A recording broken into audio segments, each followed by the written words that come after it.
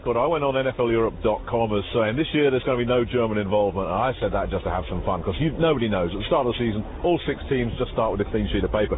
So I said this year it's going to be Scotland because I thought the home field advantage thing might just work in their favour like it did in 96. And I said Amsterdam because I say Amsterdam every year and never do they get there. So I'm thinking if I come off Amsterdam, this is the year they're going to get there. So once again I said Amsterdam. But after two weeks of the season, you know what? It looks like nothing has really changed. It looks like the Rhein Fire are going to be there or thereabout with this with this defence that they run and that ball control offence that they run. I think the Rhein Fire could be the team to beat. Frankfurt seems to have a lot of components in place now. Now they've got that quarterback situation seemingly sorted out. Those two guys have settled down. They're looking good again. Um, Scotland, though, as we saw in week one, potentially they can do some damage. The question is, can they do it on a consistent basis?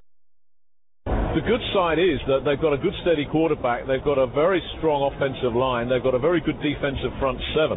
Uh, they need to work on their secondary. They need to work on some consistency in the passing game, uh, and they need to improve on their special teams.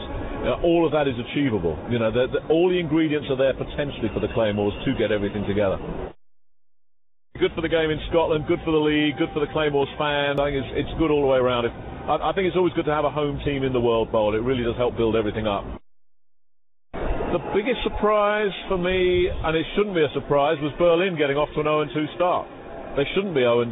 There's an argument that says they're as good a team in the league as any team right now, but Peter Vaas does this, doesn't he? He wants to be 0-2 so they can kick everybody up the backside and say, hey guys, we've got eight games to go off and win the World Cup. And then they go and do it.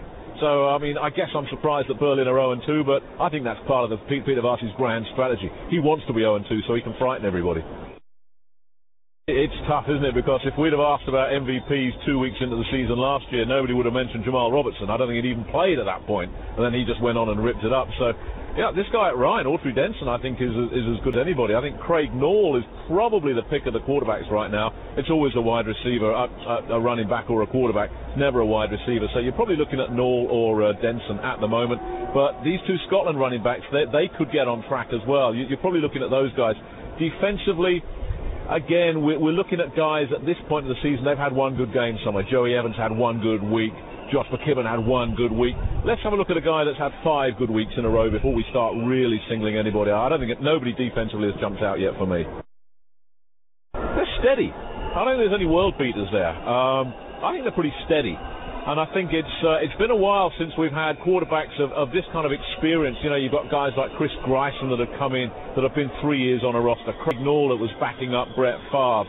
Uh, Henry Burris who was playing for Chicago. You know, very often the quarterbacks that we get in uh, are guys we don't know a lot about. Now we're getting guys that have got some NFL experience behind them. So, and I think that's showing. You know, we've not had the peaks and troughs that we've had in previous years. I don't think. You know, we've had guys that are kind of working within the systems, just getting the feel of what NFL Europe is all about because this league doesn't operate like any other league. You can't just come in and light it up in this league. It doesn't happen.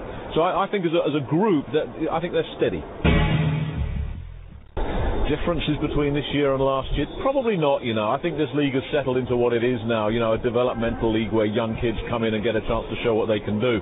Um, the surprise for me was in week one when we had that, that offensive explosion, certainly in Scotland, because normally you're expecting defences to be on top in the early weeks. So uh, that that was a shock to see all those points getting put up, particularly in, in Scotland. You know, 93 points I think it was. That that was a phenomenon. But then of course last week it all got shut down again, so it's like normal service got restored. I think uh, it's always around weeks four, five, six you realise what kind of a season you've got. I think potentially this could be a good one, and it could be an even one as well.